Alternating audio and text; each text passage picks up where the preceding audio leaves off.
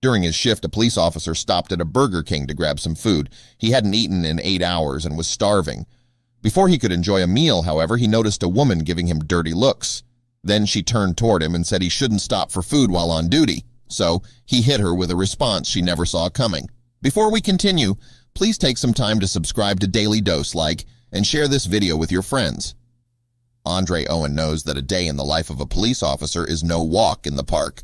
As a police constable, he also knows just how hard members of law enforcement around the world work to keep people safe. What's more, he knows best of all that such hardworking folks need a break sometimes. After all, they might save lives and seem like superheroes, but they're still only human. Unfortunately, one woman didn't see it that way when the Brighton-based police constable stopped at a Burger King while on the job. Shockingly, the unnamed female decided to shame Owen by calling him out for buying food during his shift. That's when the officer unleashed the best response possible. While working a grueling 12-hour shift, PC Owens stopped for a quick lunch break when he was shamed by the stranger. Shocked by how the woman reacted to him taking a moment to eat after spending seemingly endless hours helping others, Owen took to Twitter to share his story. To the lady that scorned me for buying food on duty, the 25-year-old officer's post began, I've not stopped since 7.05 this morning, not even for a toilet break. I'm over 100 miles from my station and I'm due off in 45 minutes, with a two-hour journey at least. Hash police every human too, he wrote, attaching a photo of the meal from the fast food chain to his tweet. It didn't take long for the post to go viral with thousands of likes and shares, garnering Owen, who had worked for the Sussex police for five years, more attention than he ever imagined. Speaking with the UK's Mirror, he explained that he'd had an incredibly busy day before the woman called him out. It was 2 p.m. that day, and he was tired, hungry, and ready to finish his shift at 3 p.m.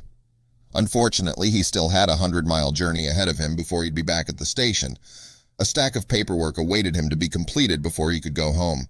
Five minutes after starting my shift, I was assigned to a serious job in Brighton.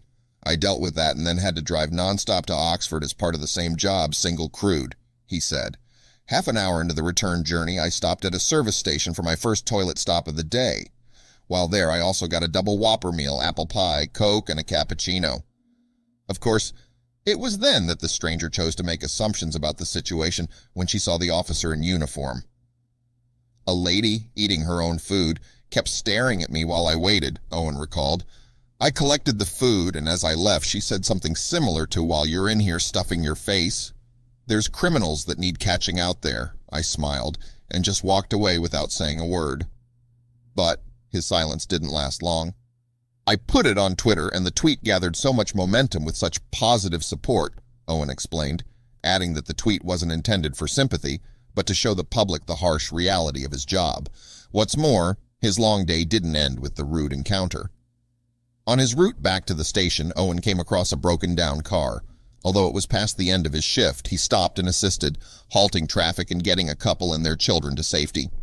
I then waited for recovery to pick them up, using my blue lights to provide protection to all around. It added another hour onto my already long day, Owen explained.